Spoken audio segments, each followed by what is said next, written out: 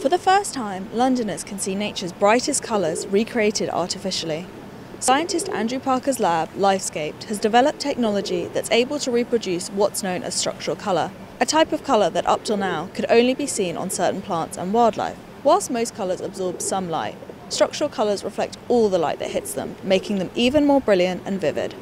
In a world first, these man made structural colours have now gone on display at Kew Gardens.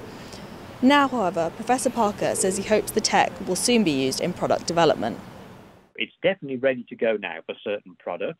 I mean, you've still got some of the economics to do, but that's going to come with the individual products that you choose. Immediately, uh, we can produce watches and jewelry and anything that where the color surface is protected. With brands such as Nike already trialing the use of structural color, it might not be long before we start to see some of these products in stores.